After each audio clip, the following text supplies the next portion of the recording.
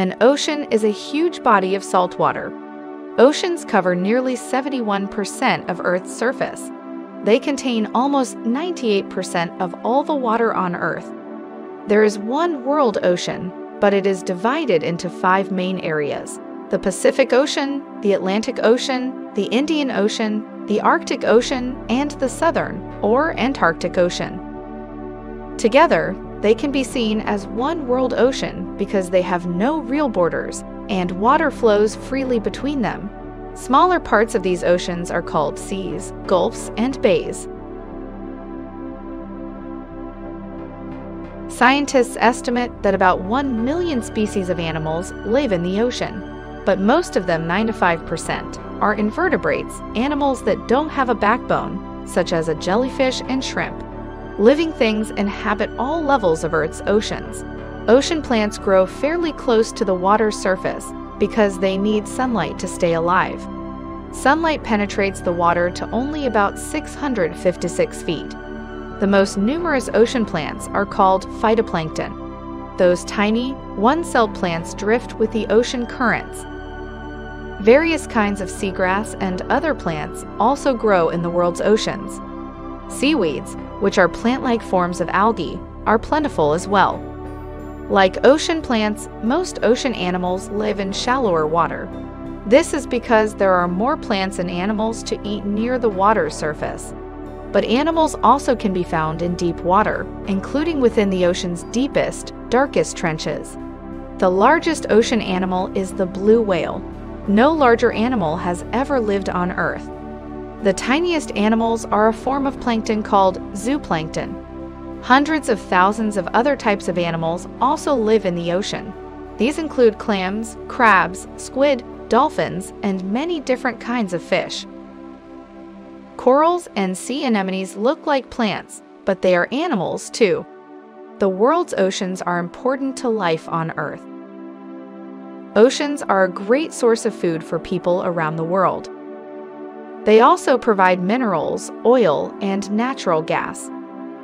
Phytoplankton and algae create much of the world's oxygen. The words ocean and sea are often used to mean the same thing. A sea, however, is a small area of an ocean, usually with land on several sides.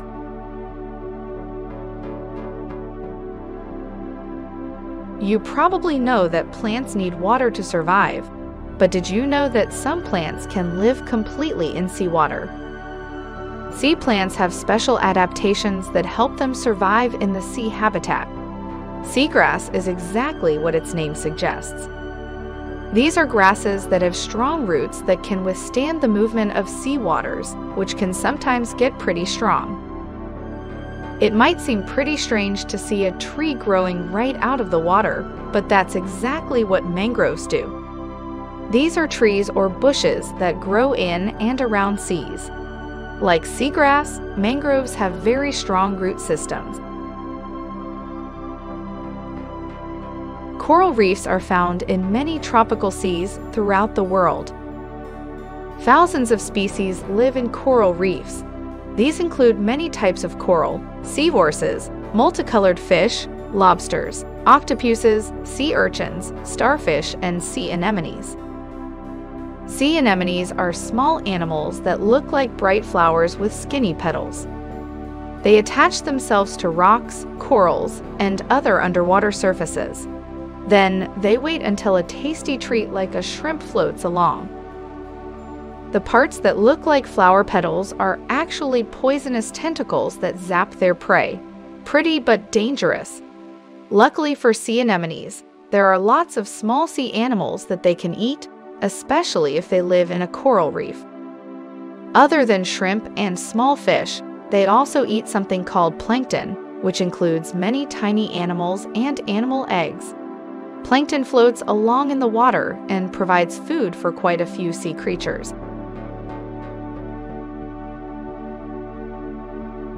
There are some large sea creatures that snack on plankton as well. Sea turtles eat plankton, crabs, small fish, and other sea creatures. These gentle animals have been around for millions of years. Scientists believe that they were around at the time of the dinosaurs. Since seas are extensions of oceans and the waters are connected, other large marine animals can be found in seas as well. Sharks, dolphins, and even whales are found in sea environments. There are some sea animals that spend some of their time in the water and other times around the sea coastlines, like sea lions.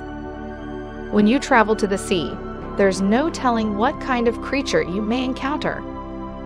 That's all time we have for today's video, Ocean Life. Like this video if you found it helpful and don't forget to press the bell icon so you won't miss any updates.